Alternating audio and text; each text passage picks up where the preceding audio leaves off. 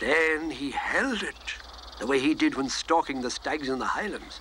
Then he blew with all the force in his very, very, very strong lungs.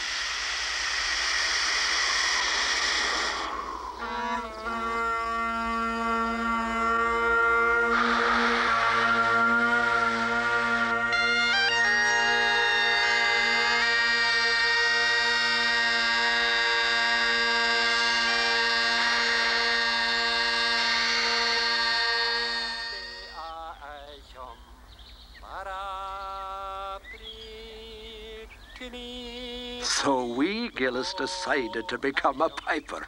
Bro har vi o bro, bro. He practiced and practiced and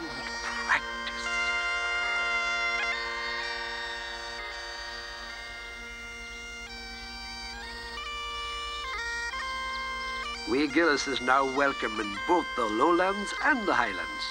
But most of the time he stays in between at his own house and plays the biggest bagpipes in all Scotland.